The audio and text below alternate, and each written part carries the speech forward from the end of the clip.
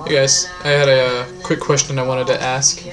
Um, and I was just, yeah, I've been really curious about this for a while now, so I thought I'd uh, jump on here and ask. Um, in the background, I'm playing The Tallest Man on Earth's Sometimes the Blues is Just a Passing Bird, which is the EP he released after his last full-length album, The Wild Hunt. is great. Tallest Man on Earth, if you don't know him, is just a really just him and his guitar, folk stuff.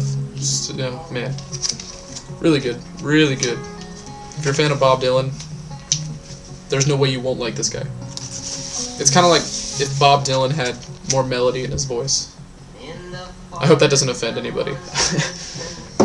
um, anyway, so the question.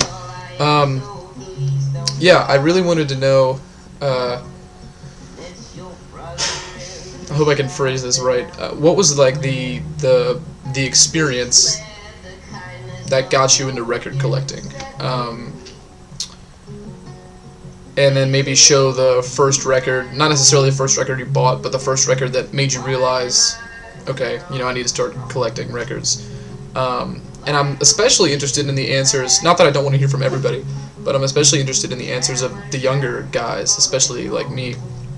Um, those who didn't grow up in you know in the vinyl era when that was the primary listening format you know 60s 70s maybe even early 80s you know um, people who were who grew up after that those are the people I'm really interested in here I'm really curious about guys like uh, uh, Mr. Dylan Records and Wax Grinder uh, Joseph O'Donnell even Dan I don't know how old Dan is necessarily but I wouldn't guess that he grew up in the 70s, so, um, and many more that I'm forgetting. I'm sorry, don't be offended, but those are the answers I'm really curious to hear about. Um, so, so yeah, let me know. Um, please, please let me know. I really do want to, really want to find out.